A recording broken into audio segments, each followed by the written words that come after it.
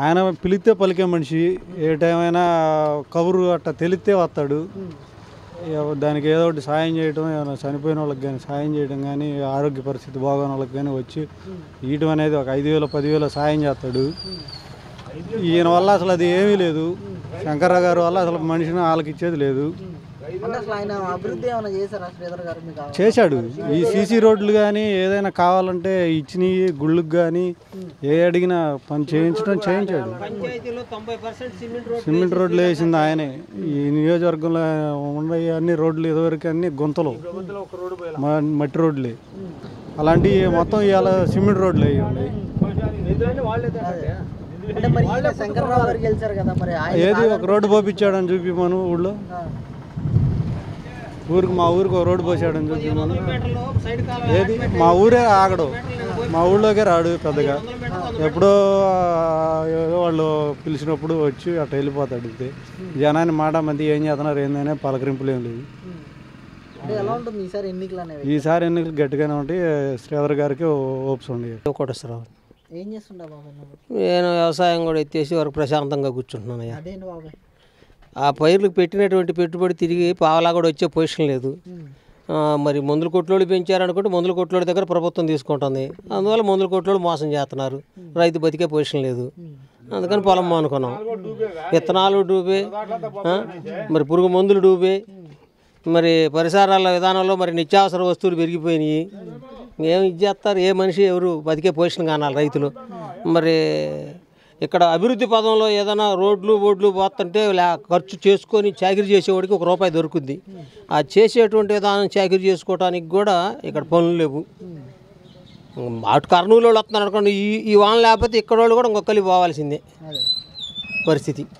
కాలువ నీళ్ళు అనేటువంటివి ఐదు వందల ముప్పై అడుగులు ఉండగా మూడు తళ్ళు ఆరు తళ్ళు వచ్చినాయి. ఇప్పుడు ఒక తడి అట్ట వచ్చి మా ఊరికి రాలా కోరపాడు వరకు వచ్చి ఆగిపోయింది. మా ఊరికి రాలా నీళ్ళు ఇది వర్షం మన దారకం పోసింది ఈ ట్రిప్ పోయలేదనుకో. మళ్ళీ ఒక్కొక్క ఎకరానికి ఆరు వేల నుంచి ఎనిమిది వేల వరకు కొనుక్కొని పెట్టుకొని బతుకుతారు. ఆ తర్వాత వర్షం పడకపోతే ఇప్పుడు దాకా పెట్టిన పెట్టుబడి ఉరకనే పోయిద్ది. ఏం ఉపయోగం లేదు. రైతుని ఆదుకునే విధానం ఒక మంత్రిత్వ శాఖలో ఉన్నటువంటి నీటిపారుదల శాఖ మంత్రి అనే ఆయన చూసి పంపించి ఇచ్చేసి కింద కాలాలు నడపాలి. కింద వ్యవస్థని చేపించి ఒత్తిడి చేసి నడపాలి. ఆయనలో నడపట్లేదు. వాళ్ళ పనులు వాళ్ళు చూసుకోవడం సరిపోతుంది కానీ సంపాదించుకుందాం దోచుకుందాం దాచుకుందాం అనే విధానంలోనే ఉండారు కానీ ఇక్కడ రైతుకు సహాయం చేద్దాము రైతుని బతికిద్దాము మనం రేపు భవిష్యత్తులో మనం మనల్ని మంచోడు అనుకుంటారు అనేటువంటి విధానం వాళ్ళలోనే కానరాలి. ఇక్కడేమైంది బాబాయ్ అంటే మరి ముఖ్యం మీ నియోజకవర్గం ఎంత అభివృద్ధి చేసామని ఇప్పుడున్న ఎమ్మెల్యే చెప్తున్నారు. మరి గతంలో కమ్మలపాటి శ్రీధర్ గారు ఎంతవరకు అభివృద్ధి చేశారు మీకు? ఏం చెప్తారు? చేసిన ఒక్క తడవ చూద్దాం అన్న దానికి జనం బలైపోయారు. ఆ ఒక్క తడవ చూసినందుకు మొటికాయలు పడ్డాయి. జనానికి అందరికి ఇప్పుడు అర్థమైపోయింది. ఇంకా మళ్ళీ ఇంకో తడవ చూడటం అనేటువంటిది మళ్ళీ వీళ్ళు చేసేటువంటి విధానం లేదు.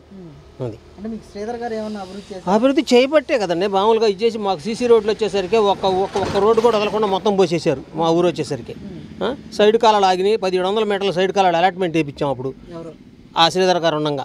ఆ అలాట్మెంట్ ఆర్డర్ ఇంతవరకు రాలేదు. సిమెంట్ రోడ్లు పోసిన ఒక కాంట్రాక్టర్కి డబ్బులు రాలే కొంతమందికి అయితే పాలంతా వచ్చి ఇంకా మా పాలంతా రావాల్సిన వాళ్ళు ఉన్నారు. వాళ్ళు కోర్టు కోర్టులకు వెళ్ళారు.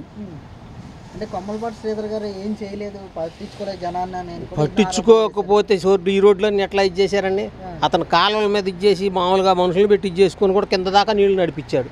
అతను ఉండగా. మరి ఈ టైంలో కాలంలో నీళ్ళు రెండు నిరుడు రాలేదనుకుంటే ఈ అసలేం లేవు. ప్రసక్తే లేదు.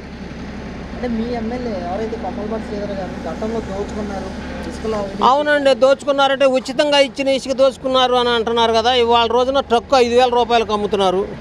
ఇప్పుడు అది ఎవరు దోచుకుంటున్నారు? ఎవరి అకౌంట్కి పోతున్నాయి?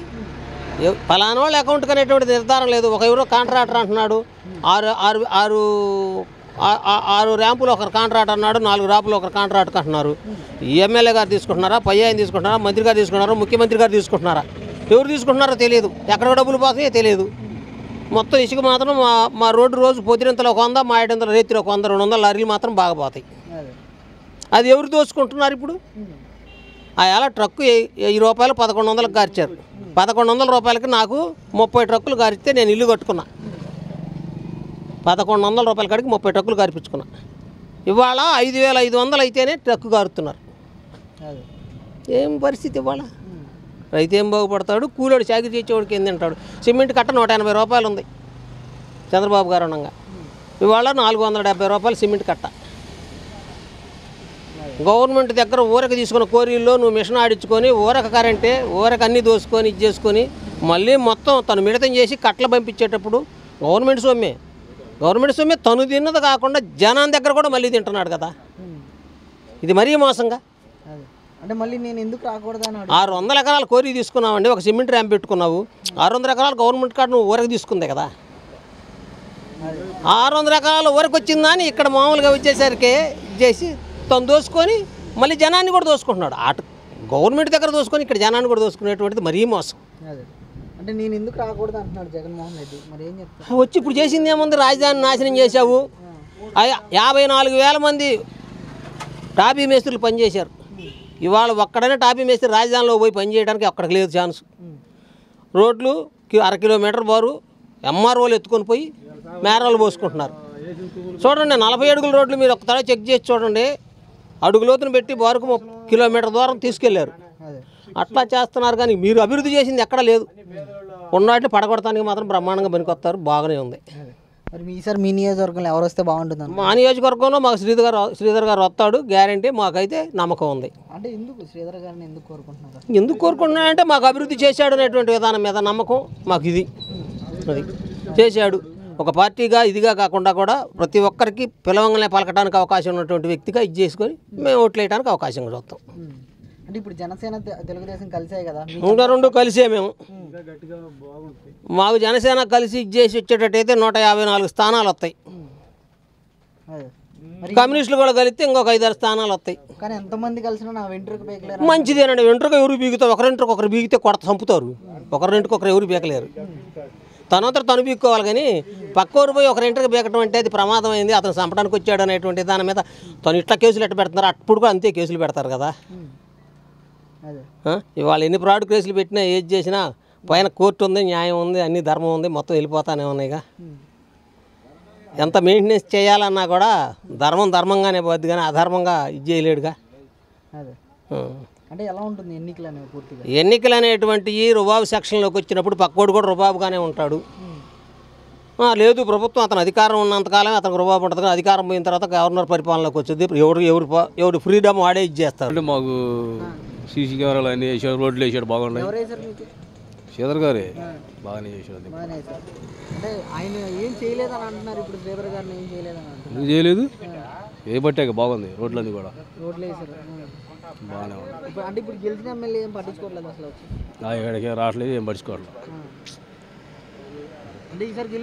మరి? ఇది పక్కాగా. గెలుస్తాడు. తిరుగులేదు దాంట్లో.